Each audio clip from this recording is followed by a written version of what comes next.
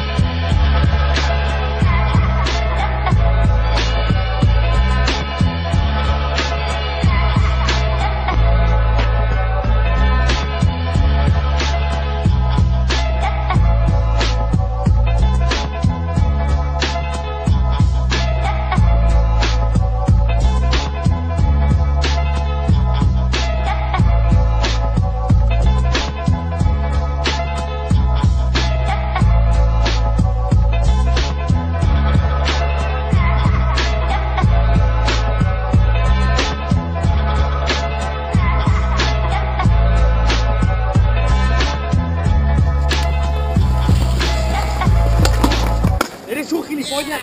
¿Qué es un gilipollas? ¿Es un gilipollas? ¡Dios! hijo de- ¡Hijo de puta! En el puto medio, tío. Todo el mundo lo vio como es gilipollas. Díselo. Hijo.